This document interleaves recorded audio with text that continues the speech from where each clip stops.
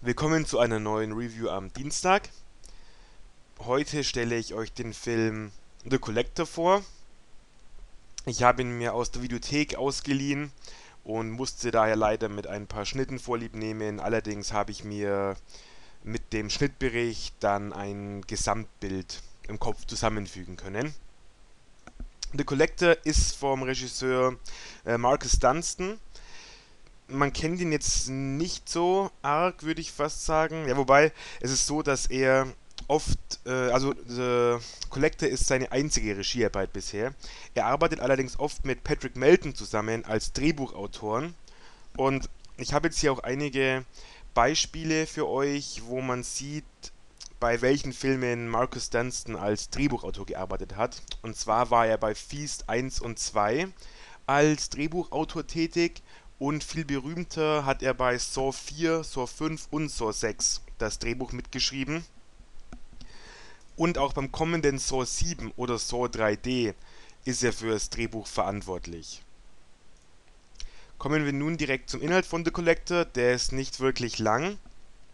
Es geht darum, dass Arkan, der von Josh Stewart gespielt wird, ist so ein Handwerker und repariert eben Häuser, Türen und Schlösser. Und sein neuester Auftraggeber ist die Familie Chase. Und Arkin verdient aber auch den Unterhalt für seine, ich glaube, Frau, der Ex-Frau kommt nicht genau raus, und sein Kind mit Einbrüchen auch und mit Diebstählen. Und da ist eben das Chase-Haus sein neuestes Ziel. Und er weiß eben, da er gerade daran arbeitet am Haus und hat was fertiggestellt, dass sie in Urlaub fahren. Und er und seine Familie müssen noch diversen Kreditern was zurückzahlen. Drum will er eben in das Haus von seinem aktuellen Arbeitgeber einsteigen, weil er weiß, da ist noch was zu holen. Und damit will er eben die Schulden begleichen, damit es seiner Familie wieder besser geht. Das ist so der Vorlauf zur Geschichte. Jetzt ist es eigentlich nur noch so, er steigt dann also an dem Abend in das Haus ein. So Abend, Spätabend wird es sein und dann merkt er aber so nach und nach, das Haus ist gar nicht verlassen, weil er dann Schritte im Haus hört. Und man muss hier sagen, der Kollektor ist nämlich schon da und hat das Haus mit schön vielen Fallen ausgestattet und spielt dann mit der Familie, die doch nicht ganz in Urlaub gefahren sind, weil sie wohl äh, den Ort nicht verlassen konnten, weil der Kollektor schneller war. Jetzt ist so, von da an ist eigentlich, dass der Arkin, der ist zwar der Dieb, aber hier dann eher so der gutherzige Dieb und eben der Collector als Psychopath spielen so ein Katz- und Maus-Spiel im Endeffekt. Das ist dann eigentlich schon alles. Argen versucht dann stellenweise der Familie zu helfen. Ich verrate jetzt nicht, wer noch im Haus ist und wer nicht oder wer vielleicht zurückkommt, weil man soll ja auch die Spannung ein bisschen aufrechterhalten. Jedenfalls kämpft er sich dann durch die Räume mit den Fallen stellenweise, geht wieder ins, in die oberen Stockwerke, geht auch mal in den Keller runter.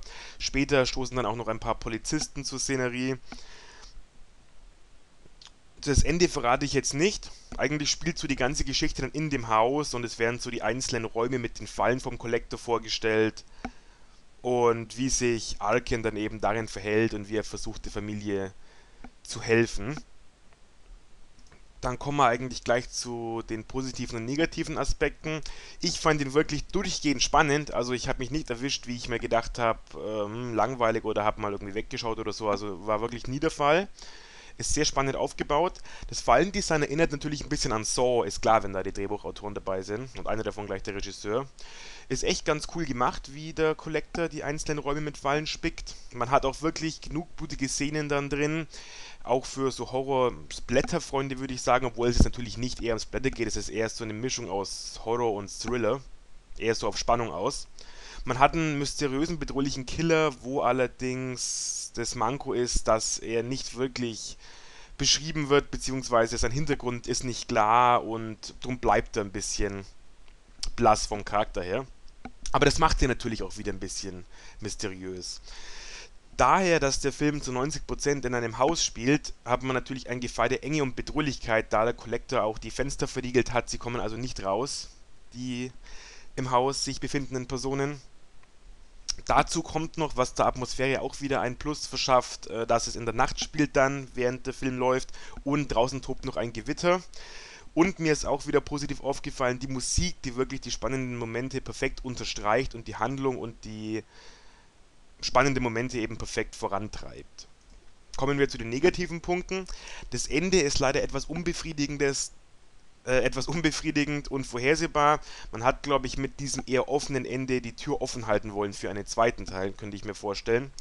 Dann in der deutschen Fassung, die ich jetzt eben gesehen habe, finde ich die Synchronstimme vom Arkin passt irgendwie nicht. Die ist so ein bisschen zu hell, brav, kindlich.